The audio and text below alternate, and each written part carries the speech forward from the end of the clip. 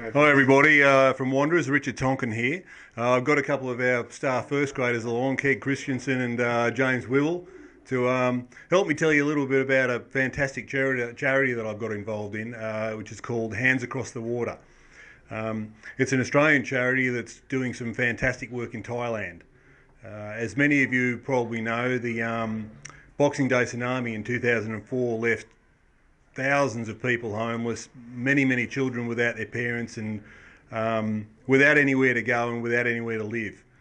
Um, Hands Across the Water was formed by an Australian uh, police forensic specialist who was working um, in the body identification team, which was pretty uh, a pretty horrendous job at the time, and he was quite inspired by the, the number of kids that were left um, homeless and uh, without their parents, and he wanted to do something to help. Um, he formed a charity called Hands Across the Water, which built an orphanage, which initially housed 30 odd kids um, in southern Thailand uh, and helped them get through school, etc., etc.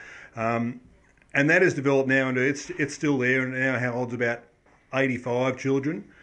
And they've also built several other centres across Thailand, um, which are mostly orphanages, but also refuges for young women that have been involved in the prostitution industry. Um, what's really great for that charity in the last few years is they've had some of their first kids go through and graduate from university, and there's some really great stuff going on. It's a fabulous charity. So I brought these guys along today to um, to help help me tell you a little bit about a bike ride I've got involved in next year, which is cycling 800 k's across. They're a bit camera shy. Yeah. 800 kilometres across uh, southern Thailand to raise money for the um, for the Hands Across the Water. So I'm doing that in January next year, but as part of it, I've got to I've got to raise ten thousand dollars in sponsorship. So these guys are going to beg all of the players at Wanderers to contribute towards the um, towards this uh, pretty impressive event. Um, not all that impressive for me, but it's a very impressive uh, it's a very impressive charity. I'm just doing a little part, I guess, and uh, looking fairly forward to it. Um, but as I say, I need to raise some money in the meantime, and uh, it's ten thousand dollars or more, and uh, so I could really do with your help. Hmm. Five or ten bucks either for, from everyone, guys, will obviously help Tonko get there. I know 800 k's on a bike, sitting down, it's not going to be too too fun. Um, it's going to be bloody hot too. but those hemorrhoids will be going to a good uh, good cause. So five or ten bucks out of your own pocket, it all adds up, guys. So get amongst it.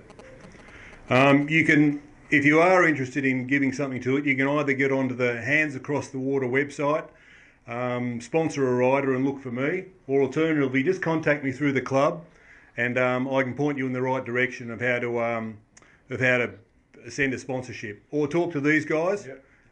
They'll point you in the right direction, or to any of the other any other players, and um, I'm sure anybody will find me or these guys, and we'll uh, we'll sort something out. So we'd really appreciate your support. It's a really fantastic charity. Mm. So thanks.